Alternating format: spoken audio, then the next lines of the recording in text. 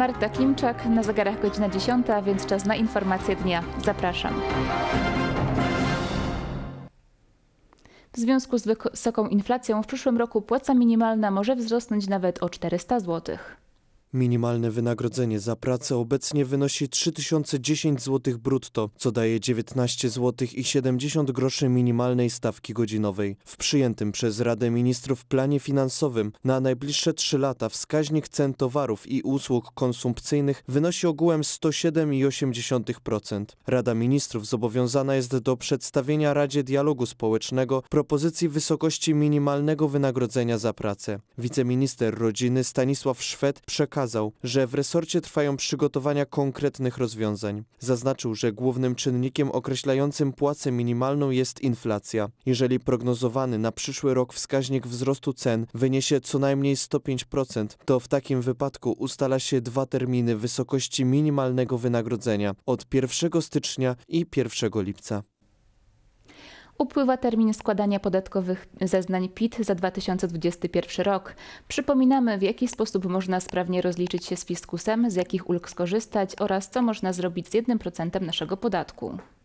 Do 2 maja, czyli do poniedziałku, podatnicy mają czas na złożenie zeznania podatkowego za 2021 rok. Mogą zrobić to w Urzędzie Skarbowym lub nie wychodząc z domu za pomocą usługi Twój EPIT. Gdzie czeka na nich projekt zeznania sporządzony na podstawie informacji, które wpłynęły od płatników.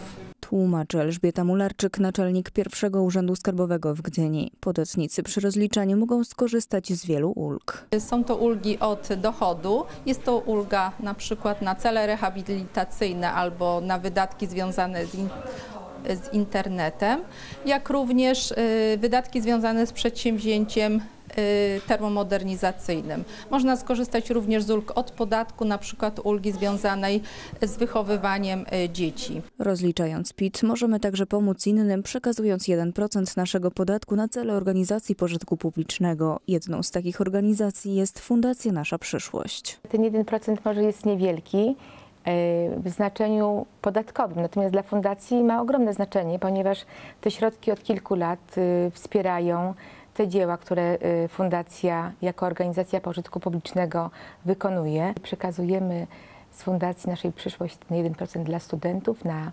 stypendia oraz na organizowanie przykład praktyk y, studenckich, y, takich zawodowych.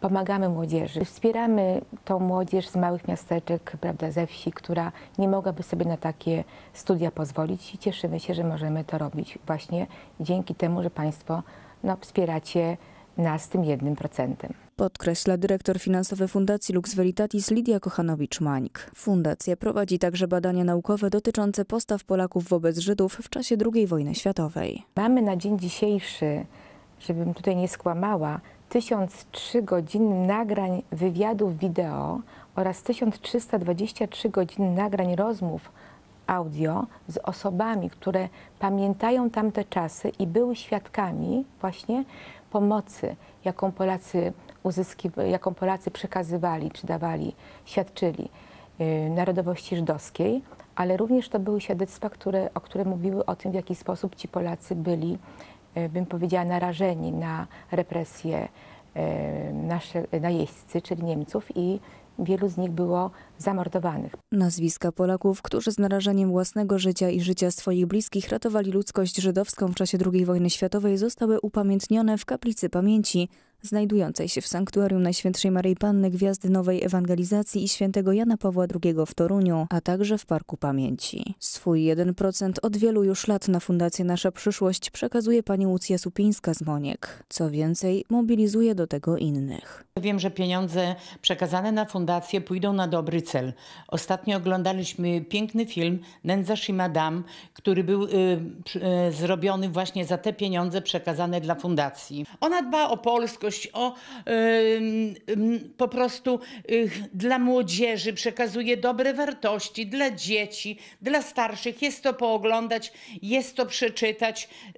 Także wszystko jest bardzo dobre. Numer KRS Fundacji Nasza Przyszłość potrzebny do przekazania 1% podatku to 000009 1141. Odporność gospodarcza Polski jest dostrzegana przez agencje ratingowe, utrzymują ocenę ratingową Polski. W ostatnim czasie krajowa gospodarka zmaga się z wieloma turbulencjami. Początkowo zostały one wywołane pandemią koronawirusa, a teraz konfliktem zbrojnym na Ukrainie. Mimo tego światowe agencje ratingowe oceniają pozytywnie stan polskiej gospodarki. Jak wskazano w uzasadnieniu agencji Moody's, głównym czynnikiem dobrego wyniku są braki negatywnych skutków związanych z szokiem wywołanym pandemią koronawirusa. Wzrost PKB w latach 2022-2023 prognozowany jest na poziomie 3%. Pokrzyżować plany może konfrontacja wojskowa z udziałem NATO. Po jakimkolwiek ataku militarnym albo cybernetycznym na Polskę nastąpi natychmiastowa degradacja akcji ratingowych. Negatywne byłoby pogorszenie się stanu praworządności, a także dalsze zaostrzenie konfliktu z instytucjami Unii Europejskiej. Opozycja chce zablokować połączenie Orlenu z Lotosem. Senat przyjął projekt noweli ustawy o zasadach zarządzania mieniem państwowym, którego celem jest wstrzymanie fuzji. Od 2020 roku PKN Orlen stara się o przejęcie Lotosu. Na fuzję musi się zgodzić Komisja Europejska, która postawiła konkretne warunki. Aby je spełnić, Orlen chce sprzedać 30% udziałów w rafinerii Lotos koncernowi Saudi Armaco. Węgierski MOL przejmuje 417 stacji Lotosu, a spółka Unimot bazy paliw. Według opozycji fuzja oraz sprzedaż części aktywów spółki Lotos może zagrozić bezpieczeństwu energetycznemu Polski. Ta fuzja służy tylko i wyłącznie interesom Rosji. Senat większością głosów senatorów opozycji przyjął ustawę, której celem jest zablokowanie przejęcia Lotosu. Projekt na pewno nie uzyska poparcia większości sejmowej, mówi rzecznik rządu Piotr Müller. Na szczęście Senat nie ma żadnych kompetencji w zakresie wstrzymywania fuzji e, Orlenu i Lotosu. Na szczęście nie ma kompetencji w zakresie blokady bardzo ważnej fuzji na polskim rynku energetycznym. Orlen zapewnia, że wynegocjowane umowy z podmiotami, które przejmą część aktywów Lotosu są dobrze zabezpieczone. Spółka pozbędzie się ponad 400 stacji w Polsce, jednak równocześnie kupuje od spółki MOL blisko 200 stacji na Węgrzech i Słowacji. Senatorowie odrzucają jednak merytoryczne argumenty i atakują prezesa Orlenu Daniela Obajtka, krytykując jego plany utworzenie multienergetycznego koncernu. Robi to we współpracy ze swoją byłą księgową z Pcimia, która jest prezesem Lotosu.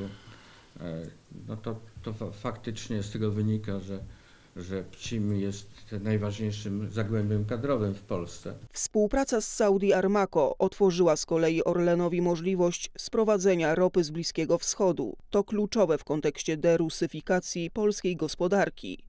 Mimo to opozycja utrzymuje, że fuzja Lotosu i Orlenu służy interesom Rosji. Jeszcze w 2011 roku ówczesny premier Donald Tusk dopuszczał sprzedaż Lotosu Rosjanom, przypomina Maciej Małecki, wiceminister aktywów państwowych. Z pewnością, jeśli połączymy Orlen, Lotos i PGNiG, Donald Tusk nie będzie mógł zrealizować tego planu i sprzedać Lotosu Rosjanom. Projekt ustawy blokujący fuzję Orlenu z Lotosem uderza w polską rację stanu, zaznacza ekspert do spraw energetyki Remigiusz Nowakowski. Dlatego, że dzisiaj jeszcze bardziej po 24 lutego, kiedy wybucha wojna na Ukrainie, Polska potrzebuje silnych podmiotów gospodarczych.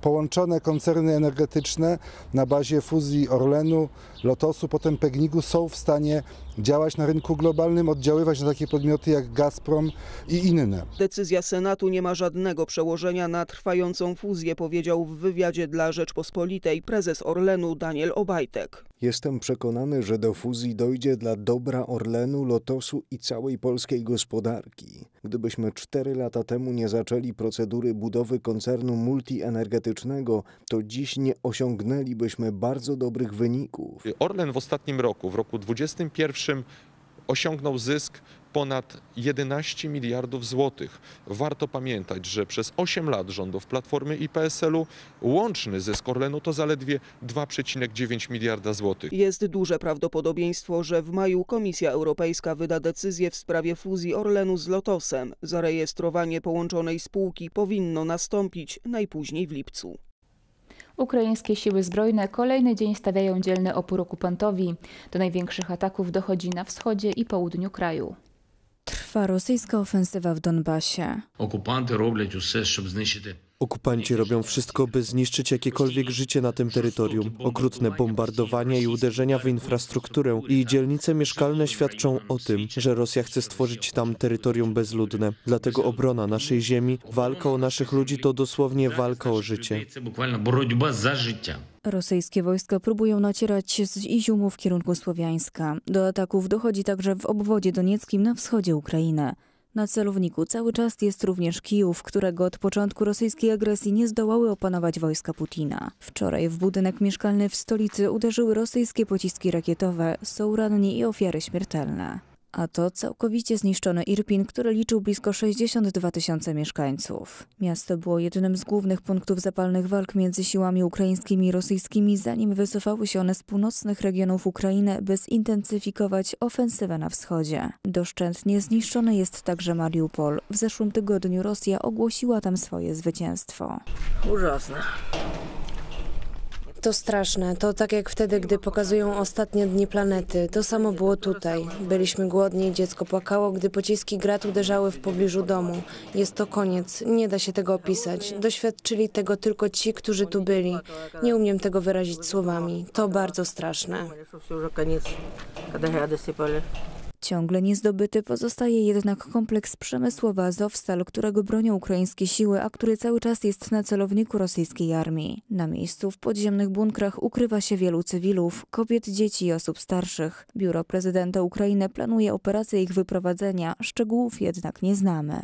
Ja dużo wierzę w Naprawdę wierzę, że wszyscy obrońcy Mariupola, oddział, który tu pozostał, ranni i żyjący, że zdołamy ocalić życie tych bohaterów. що нам вдасться, нам вдасться зберегти життя Rosyjskie siły cały czas ostrzeliwują także dzielnice mieszkalne Charkowa. Są kolejni ranni i zabici. Wiele budynków nie nadaje się do mieszkania. Ludzie, którzy ocaleli, żyją w ciężkich warunkach.